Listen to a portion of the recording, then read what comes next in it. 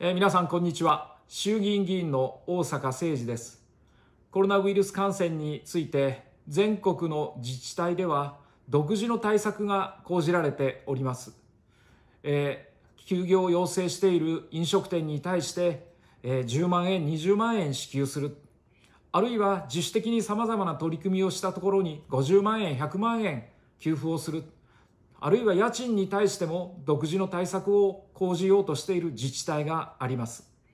実は自治の現場では事業者の皆さんの苦しみが直に伝わってきます。様々な声もストレートに届けられます。だからこそ早急な対応が必要だ。自治体には財源が少ないけれども、とにかく地域の実態実情に応じて対策を講じていこう。こういうことなのだと思います。すなわち国の対策よりもずっとスピード速く具体的なことがやれている。これが自治の現場であり、自治の自主性だと思います。しかし、一方で自治体の財源には限りがありますし、財源にはばらつきがあります。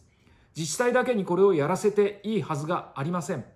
自治体の自主性を尊重しつつ、さらに自治体の財源不足、あるいは全国の格差を少しでも是正する、そういう観点も含めて、国から自治体への交付金、これを支給する必要があります。政府は今、1兆円の交付金ということを考えているようですけれども、これでは不十分です。例えば地方交付税、これは年間に16兆以上交付されるわけでありますが、せめてこの交付税の3分の1、3分の1までいかないにしても、それに近いぐらいの額を出す、そういう発想が私は必要だと思います。自治体の皆さんに安心感を与えて、それぞれの自治体の特色ある対応、これを実行することが大事です。